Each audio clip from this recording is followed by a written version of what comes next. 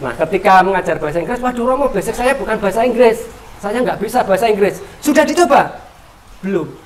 Coba dulu. Nah, jadi Romo Mangun kelihatannya alergi dengan kata tidak bisa. Tidak bisa itu pantangan ternyata di sini. Jadi ketika haram itu bahasa haram. ya. Jadi siapa pun yang mengatakan tidak bisa itu pasti kena semprot.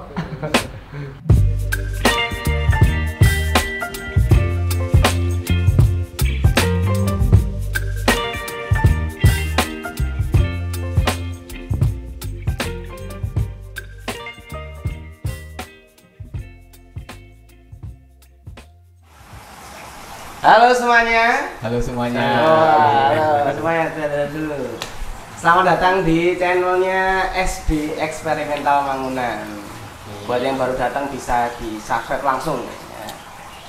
Ya, kita kali ini masuk ke bulan Februari yang mana Februari. bulan ini spesial bagi kita semua ya. Ya, bulan kasih sayang. Bulan kasih sayang. Selain bulan kasih sayang, Bulan apa pak? Mangun Wijaya. jadi Bulan selain Wijaya. bulan Februari, bulan Valentine kita juga merayakan bulan Mangun Wijaya yang mana kita eh, memperingati wafatnya Romo Mangun. Oh Mangun betul. Ini juga kalau anak-anak di SD itu di Mangunan sendiri itu kalau kayak kelas 1 ini mungkin jadi momen-momen mengenal Romangun lebih dekat gitu ya.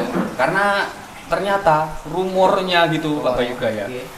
Banyak teman-teman kita yang mengira Romo Mangun itu fiktif. Oh iya betul. Dikira karena Super Mangun, dikira Superman gitu ya. Karena ada Super Mangun dikira oh, Superman, Mangun. Dikira ini fiktif, padahal memang tokoh Romo Mangun ini itu memang nyata adanya. Dan untuk mendukung itu, untuk memperkuat bukti kita ya, Ya. bukti kita bersama kalau Romo Mangun itu tokoh yang nyata Yes. gitu. Nah, kita kedatangan tiga tokoh juga Ya. yang pernah bertemu dengan Romo Mangun dan bekerja dengan eh, Romo Mangun ya. Betul. Oke, yang pertama kita perkenalkan dulu. Dari mana Bapak Yuga? Dari sebelah kanan saya dulu. Oke. Ayo Pak. Ya. Pak. Saya Pak Joko. Saya di bagian administrasi. Saya ah, langsung dengan Romo Mangun atau aja. Oh, kita, kita, oke. kita, kita simak dulu aja. Oke, Kita siap. Ini ngomongin Pak Joko ini tuh kita lagi syutingnya di eh, rumah Kuera. Iya. Dulu Pak Joko sempat Iya. tinggal di sini Pak tinggal ya. di sini kurang lebih 2 tahun. Tahun berapa itu Pak? 97 sampai 99. Belum lahir saya. Tujuh belum lahir. Mantap. Oke, kemudian sebelah Pak Joko ada Pak Bin. Mantap. Ya, Selamat siang, saya Bintoro di sini. Saya sejak dulu ditempatkan di sini seperti umum. Jadi apa-apa dipersilakan Yes. ke sesuai kemampuan dan kemauan. Jadi saya tidak pernah ada jadwal khusus kamu posisinya ini posisinya. Jadi sejak bangun saya ditempatkan di sini, kamu di sini seperti ini. Jadi saya tidak punya status pekerjaan itu apa. Kamu kalau Jadi- giwar mungkin Pak Bin paling giwar. Jadi lab dulu eh, di sini lab, memang lab di sini dulu ngantornya di sini. Jadi setiap saat apa yang dibutuhkan lab itu kami yang apa, menyediakan semacam alat-alat peraga. Kadang kita kalau sedang apa liburan atau kantornya sudah tutup, saya berdua dengan Romo Mangun meng- mengerjakan alat peraga karena ini teman saya yang satu ini kan masih kursus dulu masih, ada khusus Ya. kita lagi. Juga masih kecil masih ingusan kecil. Wakil. La- Lanjut lagi, lanjut lagi, lagi ceritanya. Ada Pak Wandi. Halo teman-teman, saya Pak B atau sering kali disebut Pak Wandi.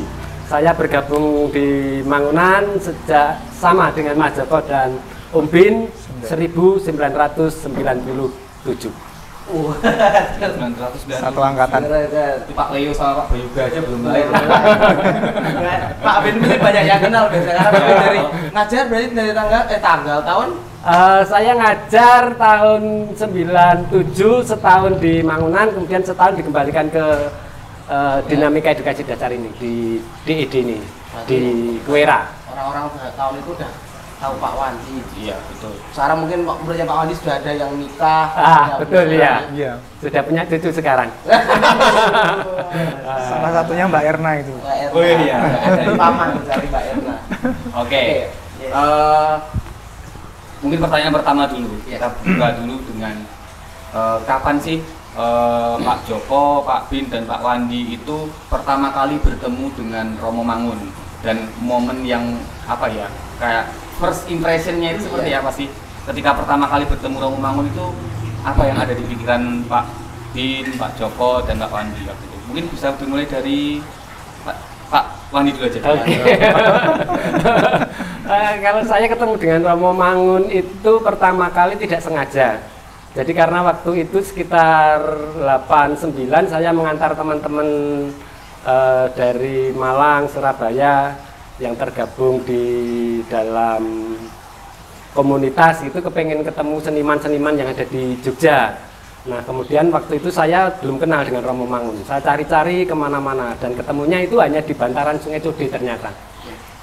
89. Nah di sana perjumpaan di sana itu eh, yang menarik.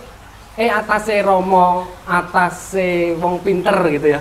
Eh kok mau berhidup berdampingan dengan orang-orang yang ada di bantaran Sungai Code itu. Itu sengar, eh, secara tidak langsung. Kemudian yang langsung itu 97 sekitar bulan Juli. Saya diperkenalkan oleh seorang teman yang sebenarnya sudah kenal diajak ke Kuera di atas ini di atas ini. Nah, saya waktu itu dengan pacar saya di atas itu. Pacarnya sekarang jadi istri? Ah, pacarnya sekarang harus jadi istri. Yang lain. harus, oh nggak boleh. nah, di atas itu, di atas itu eh, perjumpaan yang kedua dengan Romo Mangun. Nah, kemudian di sana langsung Romo Mangun eh, tanya, betul ini yang namanya Pak Wandi? Iya Romo. Nah, lulusan ini, iya Romo. Nah, mau bergabung dengan kami? Mau Romo. Nah, kemudian pesan Romo itu hanya satu kemarin dengan istri saya, eh, calon istri saya itu. Ojo tok regol-regoli Pak Wandi cek dadi guru. Nah, hanya itu pesannya dengan eh, calon istri saya itu. Apa rekor-rekor? Regol-regol itu. Di regol jangan dihalang-halangi menjadi guru. Dipersulit. Jangan dipersulit. Nah, maka sejak itu kemudian Romo bilang, besok pagi silahkan datang ke sekolah Mangunan, ketemu dengan Pak Sukiono. Nah, hanya itu saja. Nah, dari perjumpaan itu kemudian saya berpikir, uh, Romo Ki berarti memang anu, butuh eh, butuh betul eh, sosok-sosok guru yang bisa mendampingi teman-teman kecil. Nah, itu yang yang yang saya ingat selalu itu. Jadi jangan dihalang-halangi jadi guru. Nah, maka ya sampai detik ini apa pun rintangannya ya tetap jadi guru. Luar biasa. Luar biasa. Pak betul masih cara cara bicara cara bangun juga se- semangat gitu Pak. Menyambut itu. Romo Mangun lebih sebenarnya lebih halus ya. Oh. Romo Mangun itu agak keras itu ketika eh, membicarakan sesuatu yang esensial gitu ya. Ketika membicarakan sesuatu yang esensial itu dia pasti agak keras ya. Jadi sudah dicoba. Nah, jadi ketika beberapa waktu yang lalu saya kan eh, guru kelas, kemudian karena guru bahasa Inggrisnya keluar, karena waktu itu kan di bangunan keluar masuk keluar masuk gitu ya Mas Joko ya. Guru karyawan itu kan keluar masuk. Masuk baru tiga bulan, belum sampai enam bulan wis ora kerasan metu. Nah kemudian saya harus eh, mengajar bahasa Inggris. Nah ketika mengajar bahasa Inggris, waduh Romo basic saya bukan bahasa Inggris, saya nggak bisa bahasa Inggris. Sudah dicoba? Belum. Coba dulu. Nah jadi Romo Mangun kelihatannya alergi dengan kata tidak bisa. Alergi. Iya, coba dulu gitu. Iya. Itu baru ditekankan ya. betul ya. Oke, oke. Dari itu seba Pak Wadi pertama kali ketemu atau sudah dengar sebelumnya tentang Romangun pas ketemu di sini? Awalnya saya berpikir Romo itu ape-ape aja, karena kan dia seorang pastor, itu pasti bagus gitu ya. Kemudian tutur katanya juga bagus, halus, kemudian ya lebih ngalah gitu ya. Tetapi ternyata ketika hal-hal yang esensial, ya harus dicoba. Tegas gitu ya. Tegas ya. Oke. Ke Pak Bin ya. Pak Bin, oke. Pak Bin, ini pertama kali bertemu dengan Romo Mangun itu kapan dan apa tadi? First impression. First impressionnya seperti apa? Oh, Kesan pertamanya kesan seperti pertama. apa? Romo Mangun. Nah, tem saya ketemu memang lebih duluan teman saya ini. lebih dua bulan ya lebih dua bulan tahunnya sama saya memang sengaja datang kemari untuk mencari Romo Mangun dan saya itu tujuannya saya eh, apa? Seperti tujuannya masuk ini sudah pikiran saya sudah mantap atau tidak saya nggak ngerti tapi pikiran saya memang nggak jelas diterima atau tidak tapi saya sudah rasanya nggak enak gitu loh. Jadi kayak emosi aja. Nah, setelah begitu saya dat- nyampe di sini eh, ketemu di jalan karena saya di Gang Kuera itu nanya rumah apa seorang ibu begitu saya nanya rumahnya Romo Mangun mana? Pas Romo Mangun di pas keluar. Jadi pas berpapasannya itu Romo itu Romo. Ada apa? Ini mau ketemu. Oke tunggu sebentar saya tak keluar. Ini gitu. Saya nunggu di sini di ruang itu terus begitu Romo kondur saya ditanya ada apa? Mau apa? Tujuannya apa? Apa yang perlu saya bantu? Terus saya datang saya datang kemari mencari Romo mau minta minta pekerjaan. Minta pekerjaan bukan melamar pekerjaan karena saya tidak bawa bekal apa-apa tidak punya apa-apa. Lalu Romo tidak memperhatikan wajah saya. Dia sambil begini mungkin lelah punya kemampuan apa dan punya keahlian apa. Terus saya jawab saya tidak punya kemampuan apa-apa tidak punya keahlian apa lu gitu. nyepelek gitu ya. Ya. Belum tahu. Lawang mau kerja nggak punya kemampuan, gimana kami mau menempatkan anda bekerja? Wah, aku mulai jengkel di situ. Pikiran saya wis dok dikduk harta kapak itu gitu. Ya, begitu. Saya mikirnya nggak udah nggak anu. Saya juga nggak tahu, tapi Romo begitu ngomong mau tak apakan anda mau tapi melihat saya. Nah saya mimik saya nggak tahu di mata Romo Mangun itu karena saya terus kok saya tuh cuma mampu punya tangan dua ini. Oh, oh. oh. Jadi cuma oh oh oke. Tapi dengan syarat tidur sini. Kalau saya ditempatkan di sana tidur di sini. Di depan sini ya. Di dapur. Di dapur. Kenapa syaratnya itu ya? Kenapa syaratnya harus tidur sini? Apa Romo makan kesepian? Bang? Terlalu terlalu besar mungkin apa menemani Romo saya setelah itu perhatian sekali. Kalau ini sering-sering di marah-marah saya nggak pernah. Tapi Romo Mangun itu kemarahannya bukan kemarahan kebencian. Jadi marahnya Romo Mangun itu marah ilmu. saya. Jadi dia marah tidak hanya sekedar mengucap metok kayak, tapi ada ilmunya. Jadi ilmu, ada arahannya. Maka saya sering bilang dengan orang-orang Romo Mangun itu sebenarnya Romo, tapi setengah Romo, pastur setengah pastur. Kenapa itu, Pak? Ayo, Gayanya wis bukan pastur lagi. Apa? Setengahnya apa, Pak? Hah? Setengah pastor, setengahnya apa berarti? Ya awam. Awal. Awam, ya. Awam karena sering mengaku, mengaku sendiri. Kalau kami kalau ini belum pulang sekolah, saya kan sering berdua di sini, makan duluan karena ini belum pulang. Nah, saya ngobrol, dia tuh ngomong minta maaf, maaf dia kalau saya dengar suara saya seperti itu. Ini saya, jadi saya ya manusia biasa pada anda, pada kowe.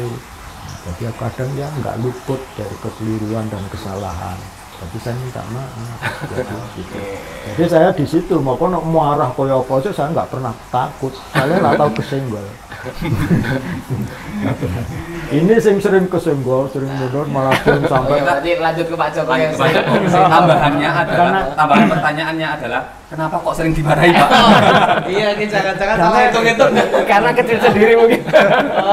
sering dimarahi bukan ini kadang ada teman yang sering mbak apa yang bambung atau mungkin kurang baik tapi semua dikumpulkan di marahi ya iki oh. sing ketakutan wong iki cilik dhewe Oh, iya. Pak Joko ketakutan itu yang paling kali ya, yang Iya. paling kecil. Ah, paling kecil loh. Ya. Boleh Pak Joko cerita tentang Pak Joko. Oke, saya bertemu Romo Mangun tuh eh, bulan Agustus 97. Eh, sebelumnya saya dikenalkan oleh adik saya, jadi adik saya lebih duluan kenal dengan Romo Mangun. Kemudian saya bertemu Romo Mangun, itu eh, di sini yang penting itu mau belajar waktu itu di anu mau belajar sama suka komputer karena waktu itu komputer masih jarang ya di Wera itu dulu hanya tiga komputer dan itu tidak ada yang bisa ngerawat itu loh itu. Jadi pertanyaan apa pertanyaannya hanya "Kau mau belajar tidak sama mau apa senang komputer itu. Terus kemudian saya bilang iya, terus kemudian selang dua hari saya tinggal di sini karena syaratnya sama dengan Mas Bin harus tinggal di sini menemani Romo Mangun karena yang Romo- kesepian karena Romo Mangun tinggal di sini hanya sendiri. Uh, sebenarnya ada beberapa teman tapi uh, sepertinya butuh apa ya uh, suasana yang lebih ramai gitu. loh. Jadi karena kalau selepas jam kerja kan sepi sekali di sini. Jadi sepertinya butuh itu. Kemudian ya di sini di samping apa ya yang tugas pokok saya pertama dulu itu belajar bukan bekerja.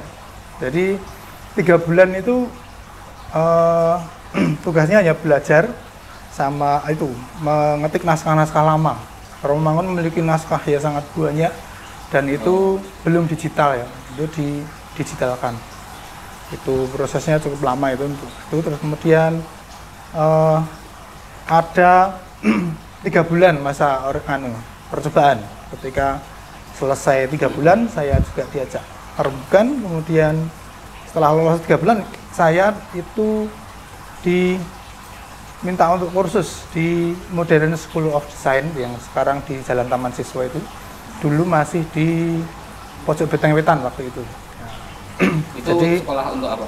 untuk desain Desain. ya, Oke. oke jadi desain grafis waktu itu. Iya. Jadi uh, termasuk ini gambar ini yang bikin Romo ini saya membantu di Oh, apa? oke. uh, itu dengan sistem kolase itu. Jadi itu banyak sekali orang yang terlibat untuk menggambar itu dari arsitek, seniman, orang biasa itu ikut membantu itu. Jadi itu modelnya dulu waktu itu di fotokopi terus kemudian diperbesar, diperkecil ya, ditempel-tempel gitu. Karena waktu foto ya tempel. Iya, karena waktu itu eh, penguasaan terhadap komputer masih sangat minim ya. Iya. Nah, makanya saya diminta untuk eh, belajar grafis di situ. Ya, mem iya. Terus mengapa kok sering dimarahi itu karena waktu itu saya belum mengenal Romangun dengan baik ya. Ketika mengerjakan sesuatu itu saya tidak bisa Romo. Nah, seperti kata Wandi tadi itu tidak bisa itu pantangan ternyata di sini. Jadi ketika haram itu bahasa haram ya. Jadi siapa pun yang mengatakan tidak bisa itu pasti kena semprot. Makanya kemudian yang kalau belum bisa apa tidak bisa itu mengatakan belum bisa gitu. Karena memang dari penjelasan teman-teman yang lebih lama itu kalau belum bisa itu memang ada kemauan untuk bisa. Kalau tidak bisa itu kayak menyerah tidak mau belajar lagi gitu bisa. Itu terus kemudian juga ketika Romo Mangun itu kan waktu itu usianya sekitar 69 ya. Jadi saya bergabung di sini itu eh, sudah cukup tua dan sering jatuh waktu itu. Nah, kalau jatuh itu, ya saya kan nggak tahu. Kalau jatuh tak tolong gitu. Ternyata marah. Kalau jatuh ditolong itu marah dia. malu Ya, dia ingin bangkit sendiri gitu, masih memiliki kemandirian untuk bangkit sendiri. ya. Pernah suatu ketika jatuh tak biarin, nggak bisa bangun. Akhirnya manggil-manggil. Jadi Mas Joko, saya tolong. nah baru tak tolong itu. Karena kalau kalau di kalau nggak minta tolong di tolong itu malah kena marah kita itu, itu yang lucu itu di situ juga. Salah satunya itu. Juga. Hmm. Terus kesehariannya itu kalau bersama saya, kalau saya pas tidak sedang kursus itu nonton film. Jadi hampir siap sore kalau ya tidak siap sore sih ham- hampir ya. Itu ada yang paling disuka itu Mr. Bean waktu itu. Jadi Mr. Bean itu favorit. Ketika Romo bekerja mengerjakan artikel gitu, mesti diminta dipanggil kalau ada acara Mr. Bean. Nanti kalau nanti kelewatan saya dimarahi lagi gitu. Jadi pokoknya tidak boleh kelewatan itu itu acara favorit Romo itu. Wah, ini warna menarik ya. Iya, Kemarin Mr. Bean. Banyak yang tahu. Ya, tapi Ya, juga Mr. Bean. Iya, juga itu film itu juga suka penggemar film, nonton film itu gemar dia. Apalagi kalau film-film sejarah berbahasa Jerman itu ada. Karena waktu itu Romo Mangun sekolahnya di Di Jerman, Jerman, Belanda itu dia kan Foto-fotonya tuh ya banyak Iya. di sana ya. itu.